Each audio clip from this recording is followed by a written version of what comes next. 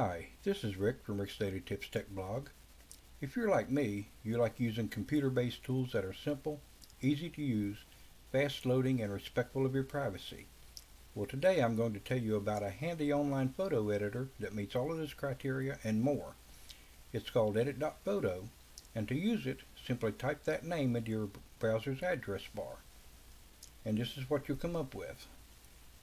Edit.photo. That's it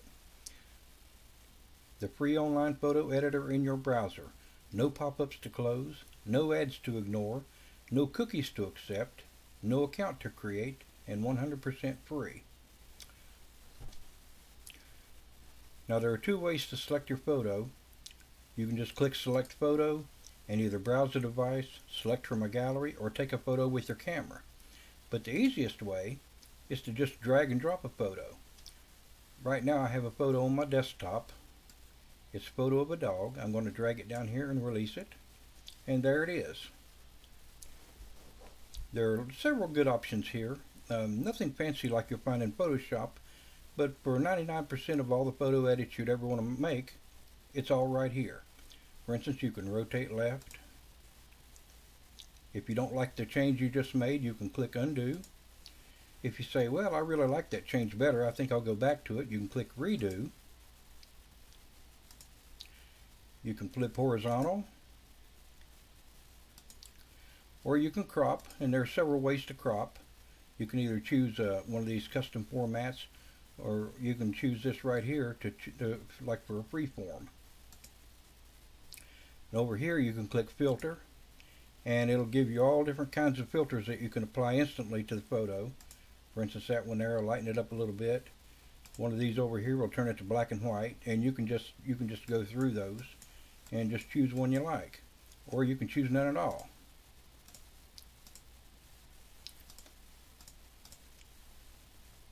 You can uh, you can type text into the photo by clicking annotate. Go down here and click text and then type what you want to uh, click where you want the text to go rather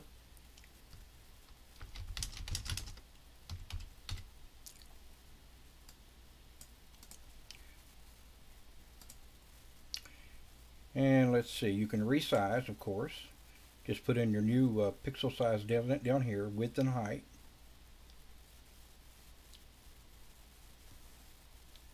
And when you made all the changes you want to make, if you can save it by clicking export.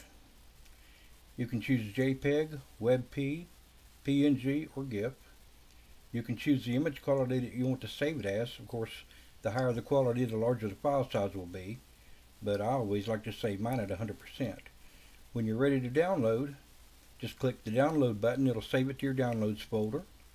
Or you can click copy to copy the, the, the image that you just edited to the clipboard. Or you can click the print button and just go ahead and print to the photo directly. And that's pretty much it. Uh, I really like this little photo editor. It's free. It's completely private.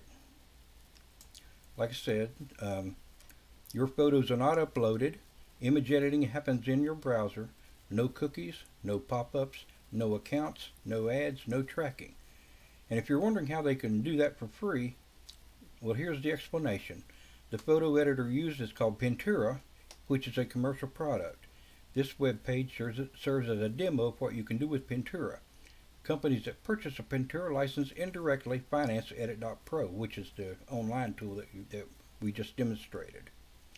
Pretty neat, huh? Well, if you like this tip, please hit like and subscribe if you'd like to help me get the word out to more people. Thanks a bunch.